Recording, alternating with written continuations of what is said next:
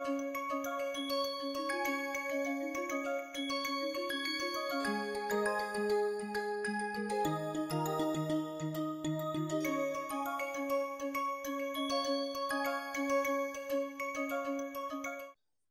welcome everyone. We'll uh, we'll continue with our topic of optimization. If you remember, in, we were previously studying what is called real analysis. Real analysis is the a careful study of real numbers, okay, and real numbers and its and their associated properties. So we studied the following topics so far. We've defined what a sequence is.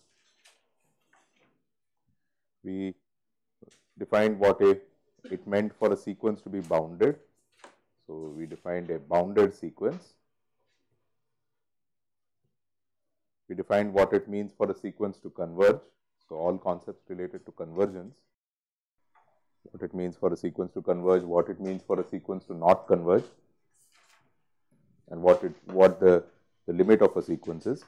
And from that we also defined what is called a subsequence.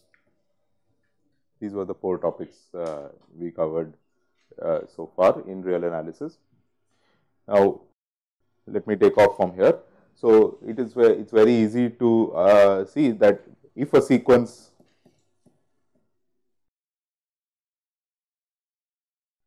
converges, then every subsequence of that sequence converges.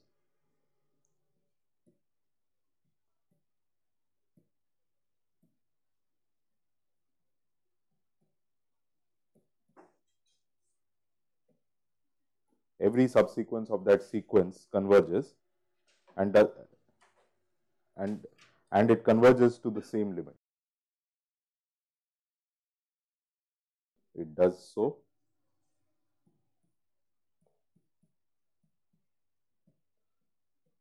to the same limit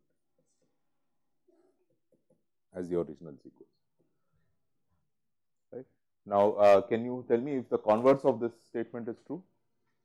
So, if a sequence, if every subsequence of a sequence converges, then does the original sequence itself converge? Yes, no? Yes, okay. Someone saying yes. Why? Why yes? Okay, that's the correct answer. So, the sequence itself is a trivial subsequence of the original sequence. So, the converse is actually trivially uh, trivially true. Okay, it, uh, this statement is the non-trivial one. Okay, all right.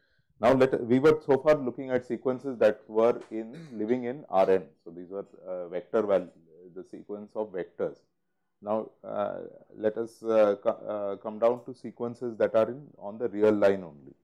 Okay, so, uh, in that we have uh, we have a, a, famous theorem which is called the Bolzano-Weierstrass theorem. Bolzano.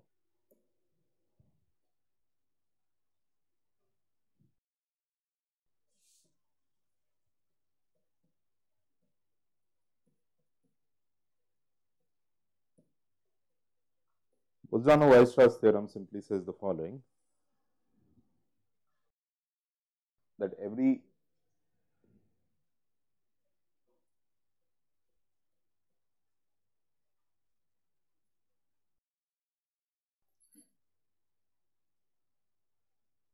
Okay, this doesn't necessarily have to be in a, uh, this is not necessarily true for real numbers. So, I'll let me, uh, this is true for vectors also. So, I will I will tell you a more general version of the same statement. So, so the, the simply the uh, the statement is simply this that every bounded sequence in Rn has a convergent subsequence. If you consider sequences in Rn and make uh, look at those sequence if you uh, if you and consider uh, a bounded sequence in Rn and look at all its possible subsequences.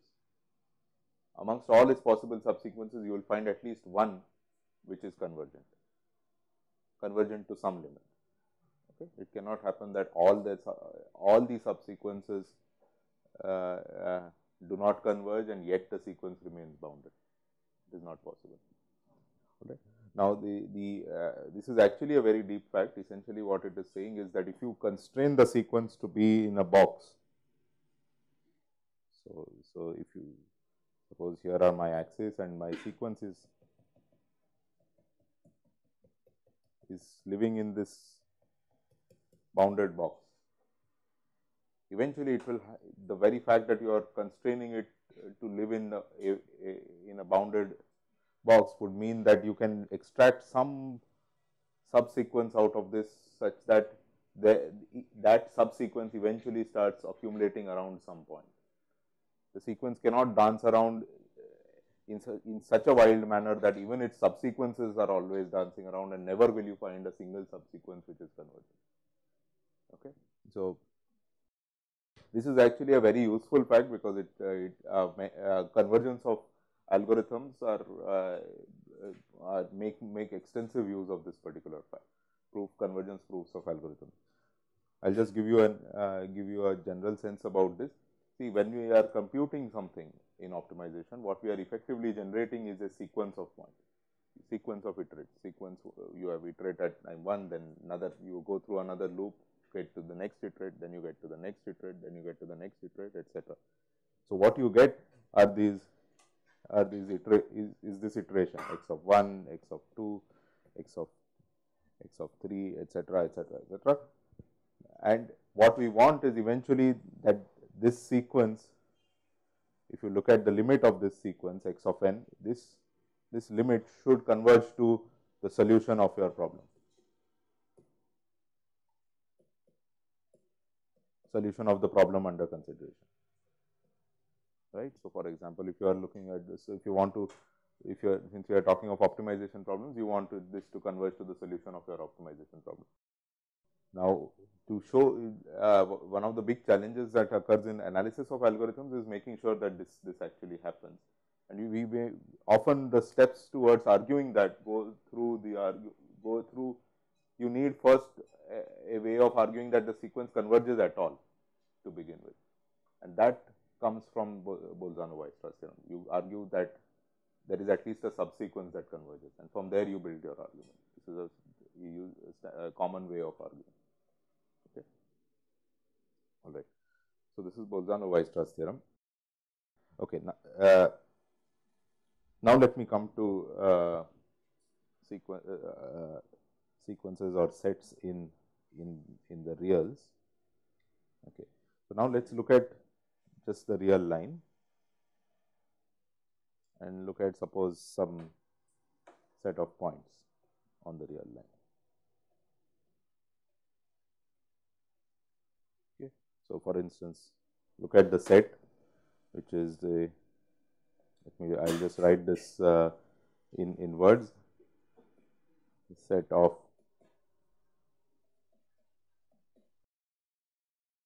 positive rational numbers for instance.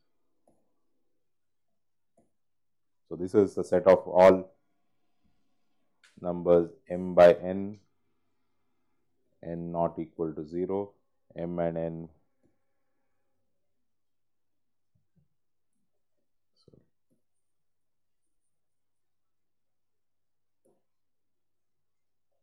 m comma n both positive and they are natural number. Okay. So, if you look at if you look at this set, this is a set of all positive rational numbers. Now, we define we say that a number L is said to be a lower bound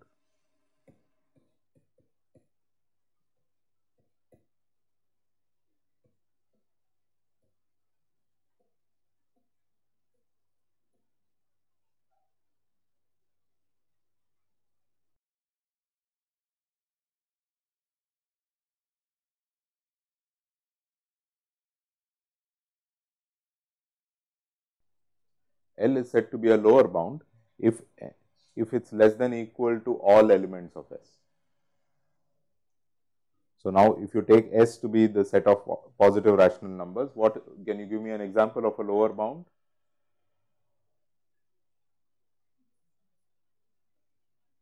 Minus 1, 0, these are all lower bounds. Likewise, number u in R is set to be an upper bound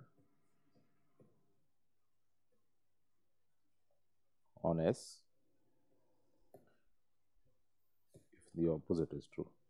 If x is less than equal to u for all x in S. Okay.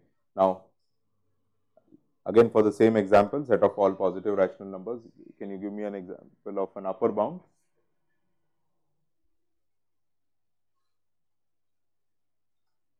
There, there is no upper bound. Okay. Now, what we will So, if a set is bounded,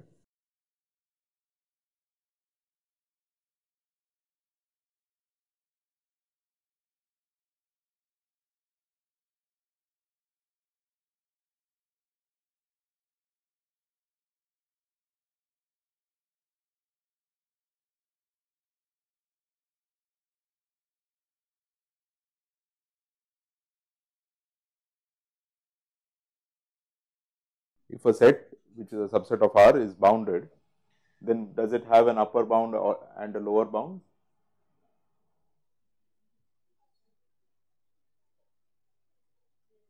By definition, right? So, it does have an upper and lower bound. Why, what did we say? What did we mean by a set is bounded? We said we look at the norm of the of the elements in that set and all elements should have a norm less than equal to a prescribed number. So, what it mean in this case we are talking of a set of real numbers. So, the norm is just the absolute value of the number. So, the absolute value of every real number every number in that set is bet is between minus m to plus m where m is some uh, m is some positive number right. So, if the absolute value is between minus m to plus m then it mean what does this mean? So, it so mod x is less than equal to m this means that x is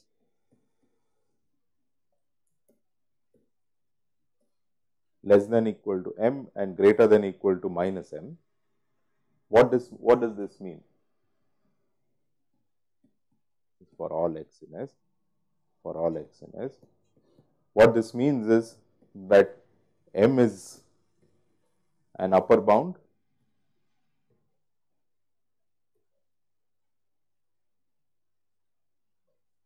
and minus m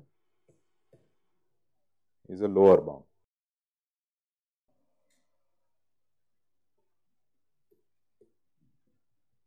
is clear. So, a set if it is bounded will have an upper bound as well as a lower bound. Now, upper and lower bounds are not unique. If you have, if m is an upper bound, then m plus 1 is also an upper bound. Okay. Likewise, if L is a lower bound, then L minus 1 is also a lower bound. You can keep making lower bounds smaller and smaller, they will continue to be lower bounds. You can make upper bounds larger and larger, they become continue to be upper bounds. So, here is the another concept which is called the least upper bound.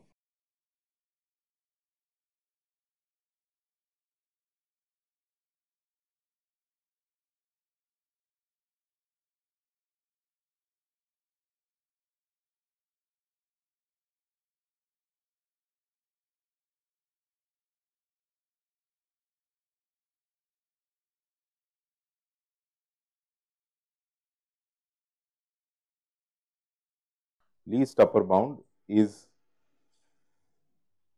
the smallest such upper bound um, amongst all upper bounds. Okay. What does this mean? That if I take a num if I take a number even slightly smaller than this least upper bound, then it cannot be an upper bound.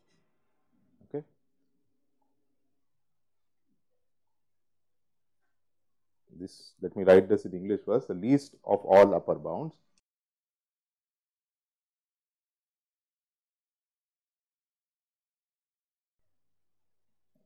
What does this mean?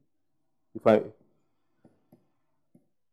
for all epsilon greater than 0 okay, there exists an, an x in S such that x is greater than sorry, so I should just write this better.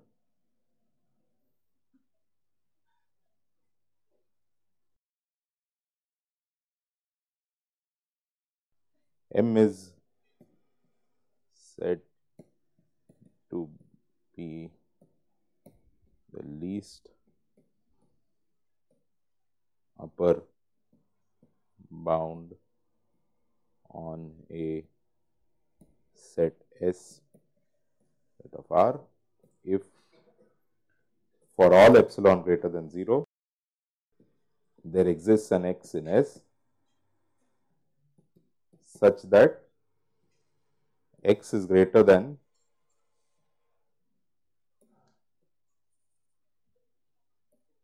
x is greater than m minus epsilon.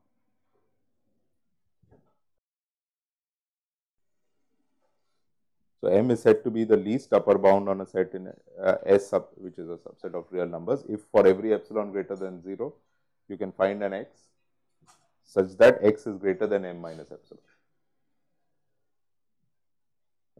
So, you cannot make m even slightly smaller and still have it as a lower as an upper bound.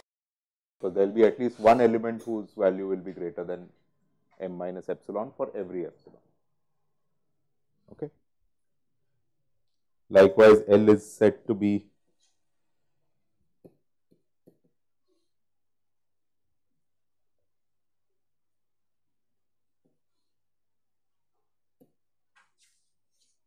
the greatest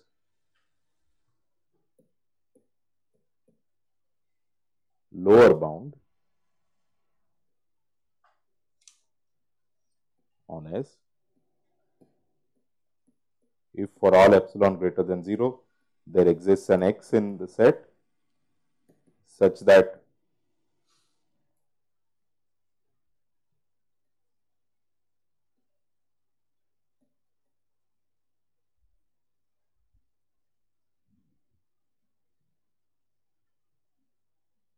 So, if I increase L even slightly, then I can find an element that violates my condition.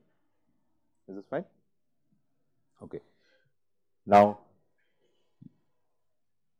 there is a chicken and egg problem that arises in trying to define what this, uh, trying to uh, uh, trying to show that such a thing exists. The very fact that to show if you want to show that uh, the a set must have a least upper bound, then what you want to what you need is that the set of upper bounds must have a lower bound. Likewise, if you want to show that the set must have a greatest lower bound, then it means that the set of lower bounds must have an upper bound, a smallest such upper bound, right. So, that so the this is worked around using what is called the completeness axiom.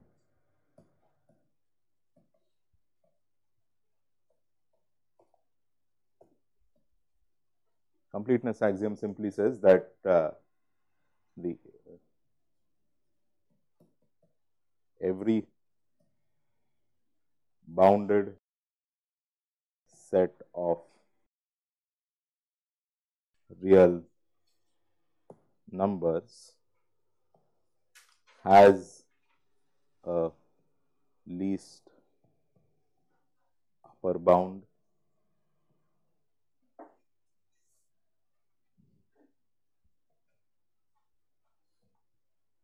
And a greatest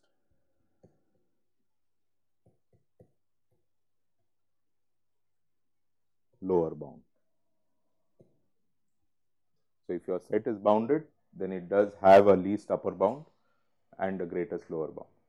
If your set is just bounded on one side, means it is bounded above, okay, then it has a greatest, uh, it has a least upper bound, but may not have a, uh, a um, uh, but, uh, does, um, but does not have a greatest lower bound.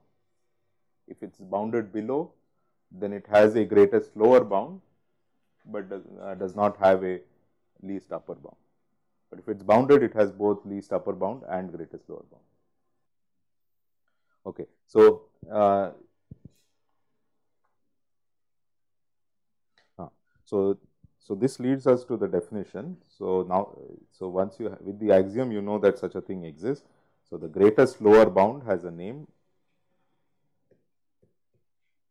Instead of calling it the greatest lower bound on S,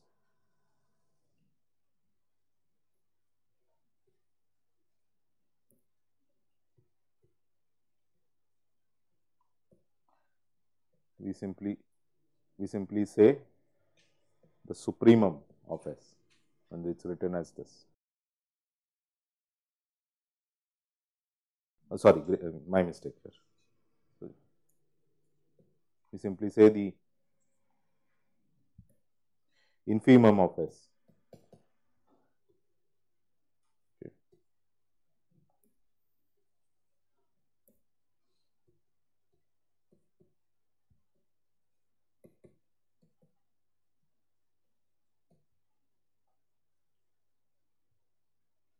and least upper bound